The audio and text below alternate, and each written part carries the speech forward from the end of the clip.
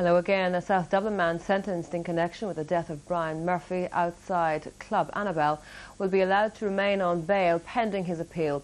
23-year-old Desmond Ryan was sentenced to nine months in prison for violent disorder in March, but this was deferred to allow him to finish his college exams.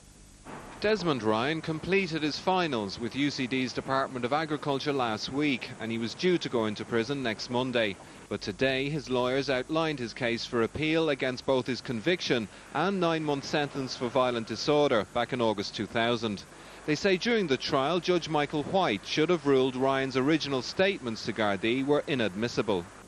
They point out that Judge White had ruled as invalid a warrant used to search Ryan's home. This was because of a lack of information given to the court who'd issued it.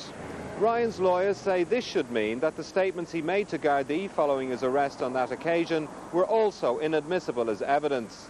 His lawyers also claim that Judge White's decision to edit statements read out at the trial meant that it was unsatisfactory.